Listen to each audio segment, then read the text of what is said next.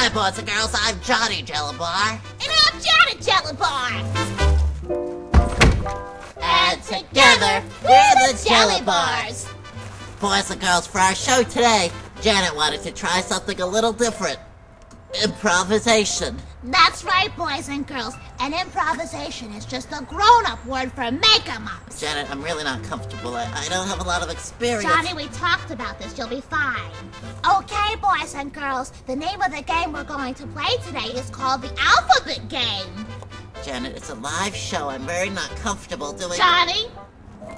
Okay, boys and girls. Now we're gonna get a suggestion from you kids, and then every time we talk, we have to use the next letter of the alphabet. Janet, can we please just run that show about monkeys? Johnny? Okay, boys and girls.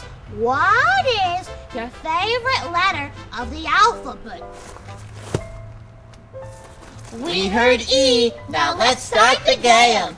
Okay, Johnny, now I'll start. If you get nervous, just talk real loud. E. Every day here in the woods is lovely, Johnny. F.